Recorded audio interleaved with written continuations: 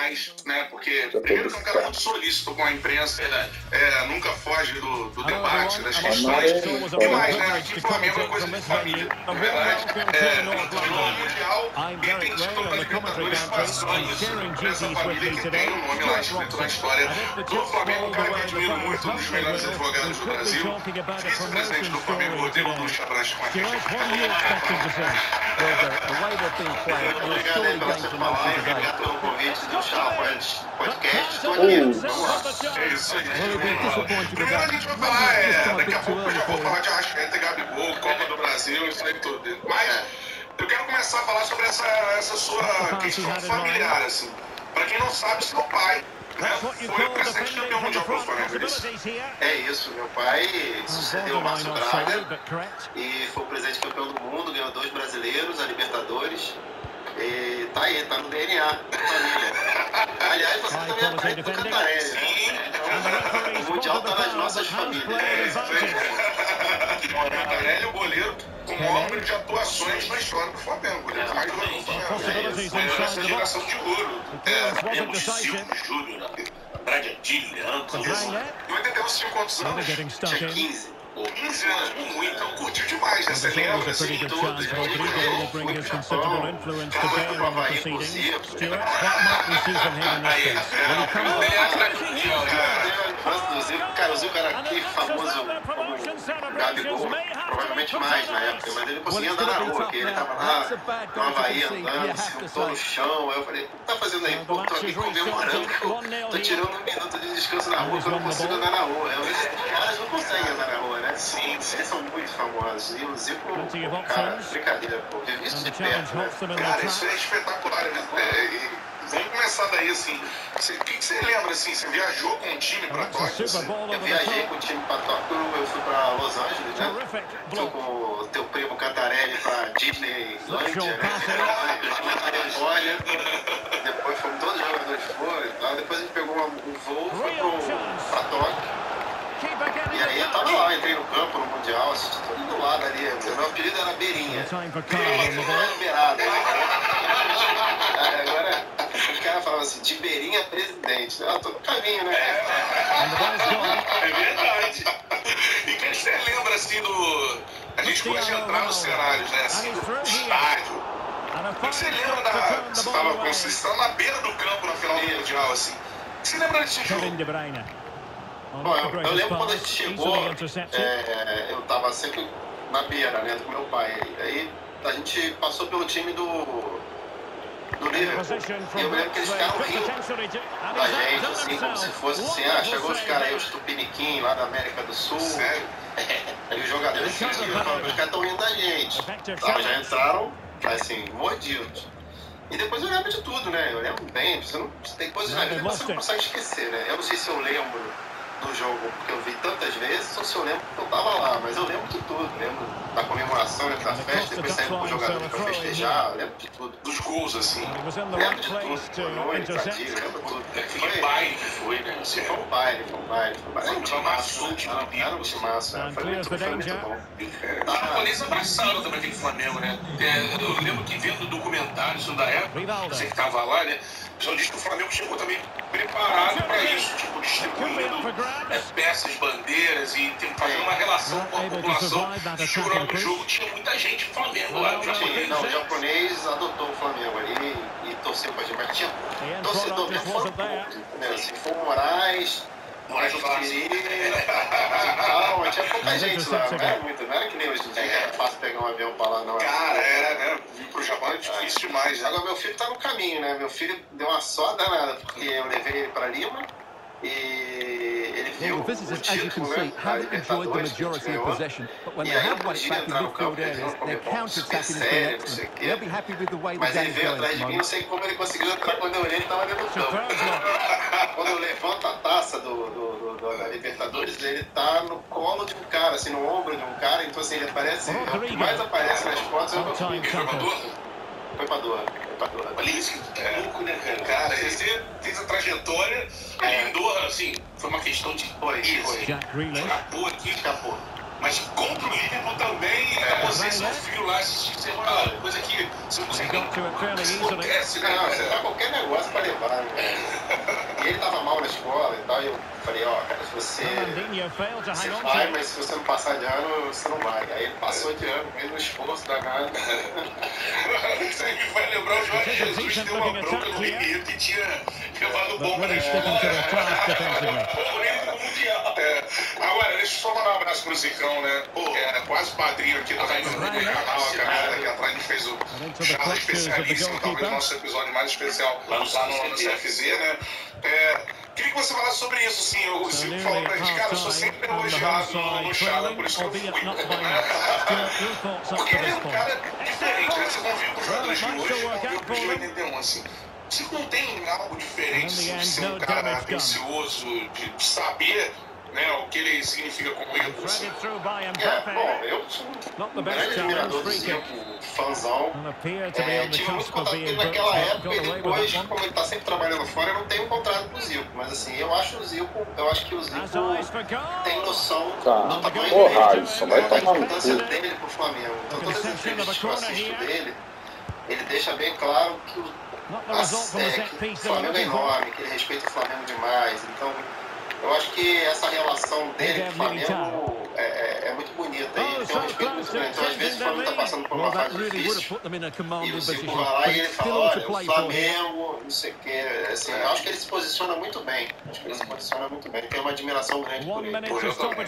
Inclusive, quando eu recebi o seu convite, ele falou assim, o Zico esteve aqui, será que você poderia vir? Eu falei, bom, se o Zico foi, aí vai ser Não, é. Aqui, esses dias, é, só pra. Porque foi exatamente a mesma coisa. Esses dias me abordaram no direct do Instagram e elogiando o rapaz que assiste a gente aqui, o Wendel. Até mandar um abraço pra ele, mora em Nova Jersey. E ele falou, pô, passo meu tempo aqui em Nova Jersey vendo vocês, maratonando, tal, tal. Cara, nunca pensou em levar o Lê no programa, não? O Lê que fez o gol do time da Mercosul. Aí eu falei, pô, já, eu já tava tentando o contato dele. Lê, pô, fez um gol, um jogo marcante. Tá? Ele, Cara, o Lê é meu vizinho aqui. Aí no Brasil ele morava, vou falar com ele. Posso falar? Eu fala. Aí ele mandou pra mim ontem. Aí tomou um contato do Lê, eu falei com ele. Aí ele mandou um print. Olha como eu convenci. Ele mandou uma foto. Os caras levaram o Zico.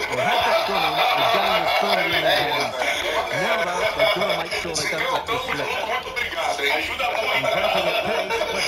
E hoje, assim, era uma coisa que você pensava também ser vice-presidente do Flamengo como seu pai foi presidente? Ou isso não passava pela sua cabeça? Não, não foi nada planejado. Eu fui. Eu sou muito ativo no Flamengo, sou grande benemérito do Flamengo, que é um órgão, assim, é um cargo, vamos dizer, cargo não é honraria suprema lá no mundo, né?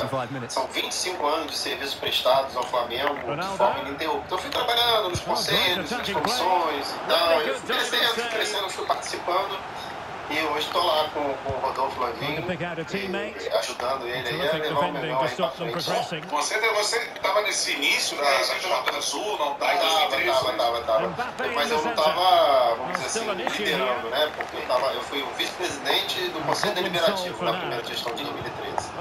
Mas eu acompanhei muito com o Rodolfo, o Fábio Godinho, o Farinho, Mapi. Estava participando, mas não estava sendo é, líder já da frente, eu estava até sem tempo na época. É, mas como você estava participando, assim, eu queria que você falasse como esse.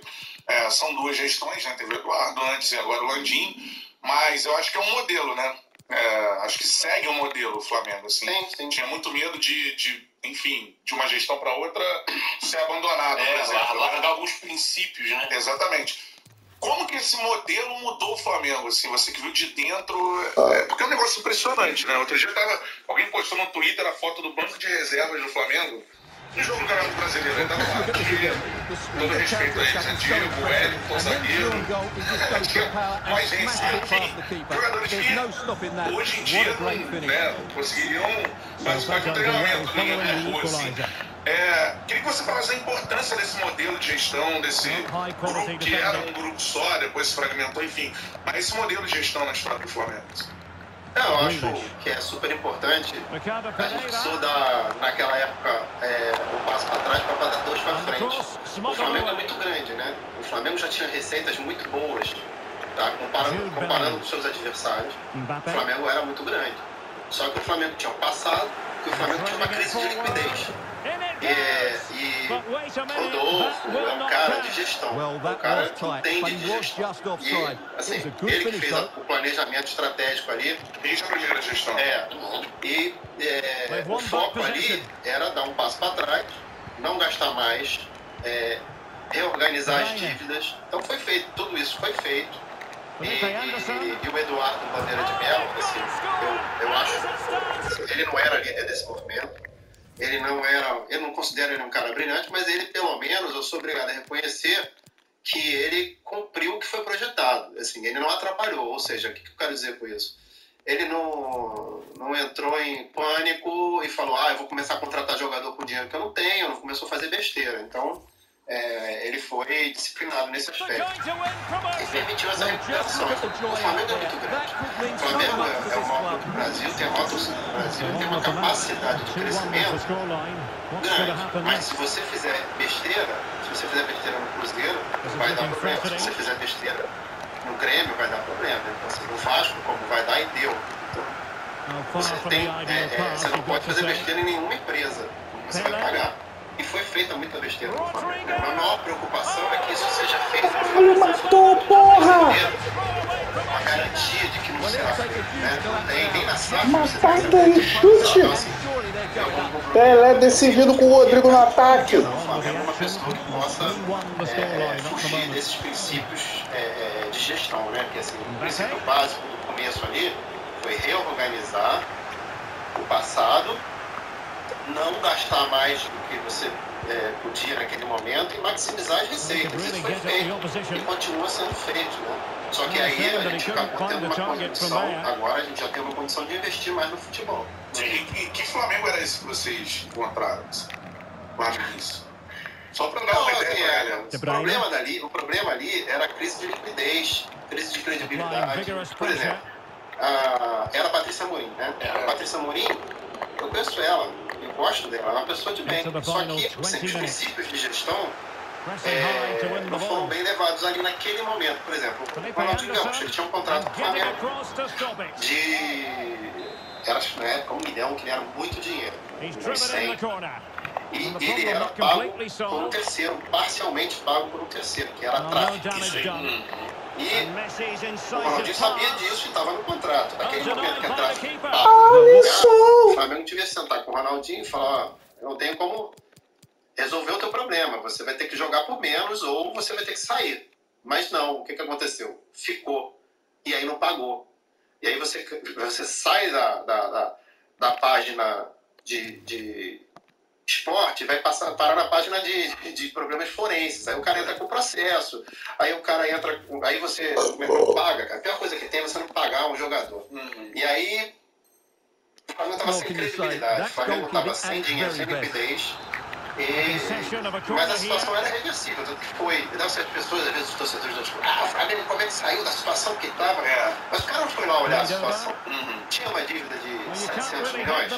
Tinha. Mas tinha o Profut, tinha, você tinha como re renegociar esses valores que a maioria das dívidas era do Estado, você tinha como renegociar algumas dívidas de curto prazo também. E aí o Flamengo foi fazendo isso e foi trazendo receita, credibilidade, o patrocinador aparece, a torcida volta.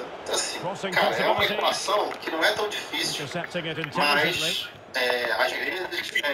É, é, você não pode querer andar acima do, teu, do, tamanho do teu passo. E aí foi o que foi feito por alguns presidentes. Presidentes bons, bem intencionados, mas, de, mas assim, não basta ter boa intenção. Tem que ter uma estrutura. Tem, tem, é, tem, tem que ser estruturado. Saber que Entendeu? O cobertor é curto. Puxou daqui e vai descobrir ali. Exato. É. Como é que você entra dentro disso? Fernandinho. Citou, né? O cara não olhou lá, não foi procurar como é que a gente chegou nesse ponto. Como é que você encara? Porra, Pelé, caraca! Vamos pra terceira, Pelé! Qualificar o seu elenco como tem qualificado, sim, de forma. Vamos, Edson! Vamos, meu Edson! Não tem Mbappé, porra! É, tem que ver o, o Flamengo assim não dá diferença. Vamos virar no Bayern de Munique, vamos virar numa Alemanha. E geralmente, agora recentemente, quem levantou essa bola, gente que representa esses clubes que estão onde estão porque tem alguém direcionado, mecenas, sim, ou, sim. que estão gastando como tipo da dívida, mas estão gastando, montando time. Assim, não, não é parte só para o fair play financeiro, É, não, porque a pessoa não sabe exatamente o que é o fair play financeiro. é, fair play financeiro é porque você tem que ter uma geração natural da sua renda. Quando é artificial, você está violando o fair play financeiro. Então, assim, esse negócio de mecenas. É, o Flamengo tem receitas recorrentes que permitem o Flamengo gastar o que ele gasta. O Flamengo tem muita torcida, o Flamengo tem muito patrocínio, o Flamengo tem boas receitas, o Flamengo vende alguns jogadores no momento certo e tal. Ah, o Flamengo arrecadou um bilhão de reais. O Flamengo tem todo o direito de gastar esse bilhão. Uhum. Só que o Palmeiras ou, ou, ou, sei lá, o Palmeiras talvez tenha, eu não sei, não sei como é que são as contas do Palmeiras, talvez, acho que é menos, mas assim, tudo bem, vamos falar de outro. O Vasco. O Vasco não pode gastar um bilhão. Se ele gastar, ele está violando o campeonato financeiro. Porque esse dinheiro não é do Vasco. Se alguém botou no Vasco, está querendo vai receber de alguma forma. Então isso entra no passivo do Vasco também. Então está violando o fair play financeiro. Então, assim, as pessoas falam, ah, o Flamengo, se tiver fair play financeiro, é bom pro Flamengo. É bom pro Flamengo. É isso. Seguinte, galera, dá um like aqui na live. Quanto mais like a gente vai, mais gente aparece ah, o nosso papo, a nossa entrevista. Então, a voadora no peito do like. Se inscreva também no canal. Irmão, o que, que foi esse jogo? O que, que foi esse jogo do Pelé, mano? Pelé falou, vamos, vamos pra terceira, galera. Dá a mão aqui.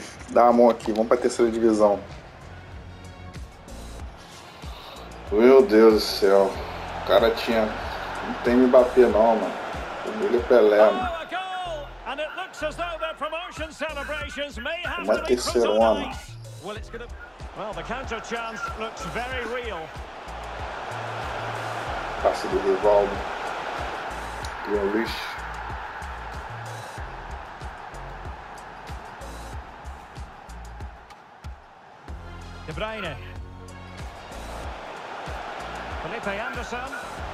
very real. Passe do Rivaldo. Grealish. De Bruyne. Felipe Anderson. Bruyne e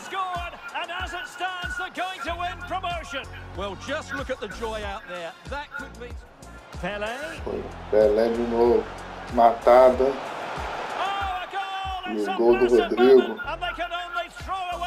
Craque do time. Well, it'll take a huge collapse now. Madison. Aí, mano, vai estar no and for all.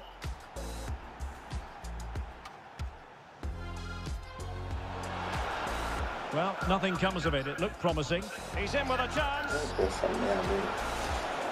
And a goal! As it stands, they're still in position to be promoted, but this is far from over yet. Well, that... Now can they create something? Vamos espelhar a formação, cara. Eu tô vendo.